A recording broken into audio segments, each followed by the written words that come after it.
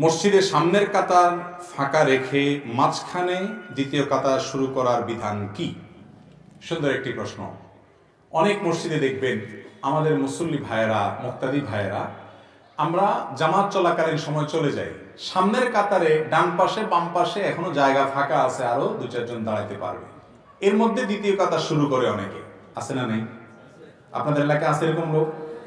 যারা এই কাজটা করেন অনেকে এটা এই জন্য করেন যে প্রথম কাতারের ওই কোনা পর্যন্ত যেতে যেতে ইমাম সাহেবকে আর ধরা যাবে না। তো ইমাম সাহেবকে যাতে রুকুর মধ্যে ধরা যায়, বিশেষ করে ইমাম রুকুতে গেলে তামাশা দেখা যায় বেশি, তাই না?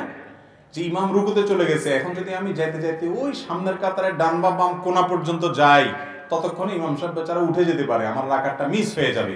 এটা যাতে মিস না হয় জন্য দৌড় দিয়ে যায় দ্বিতীয় রাকাতে, দ্বিতীয় কাতারে মাঝখানে বা কোনো এক জায়গায় দাঁড়ায় যায়। আছে না নাই? খুব খারাপ একটা অভ্যাস, খারাপ একটা রোগ। নবী করিম সাল্লা সাল্লাম বলেছেন, যখন জামাত শুরু হয়, তখন তোমরা দৌড় দিবে না।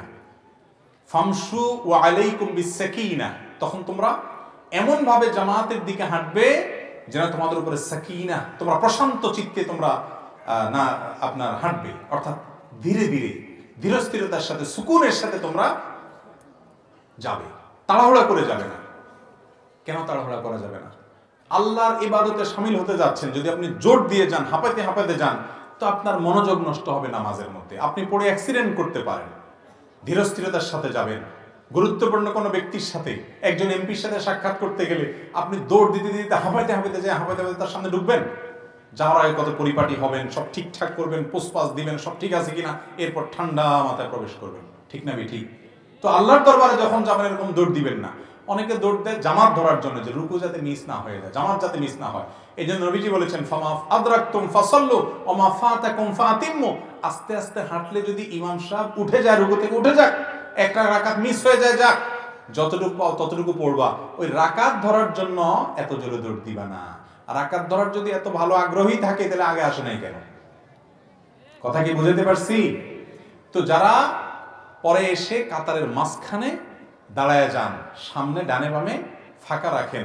তাদের নামাজের মধ্যে ত্রুটি থেকে যায়। নামাজ হয়ে যাবে, ফরজ আদায় হয়ে যাবে, কিন্তু ত্রুটি থেকে যায়। কারণ নবী করিম সাল্লাল্লাহু আলাইহি সাল্লাম স্পষ্টভাবে বলেছেন, আতিমুস সাফাল আউয়াল সুম্মা আল্লাযী ইয়ালি। তোমরা প্রথমে সামনের সব পূরণ করবে, ওইটা পূর্ণ হয়ে গেলে তারপরে দ্বিতীয়টা পূরণ করবে। এবং তিনি বলেছেন, লা তাদাউল ফুরজাত, বা লা তাদাউল ফুরজাত লিশাইতান কাতারের মধ্যে শয়তানের জন্য জায়গা রাখবা না, ফিল আপ করবে তারপরে সামনে পরবর্তীতে পিছনের দিকে আসবে। এই জন্য ভাইরা আমার কখনো এই কাজ করা যাবে না।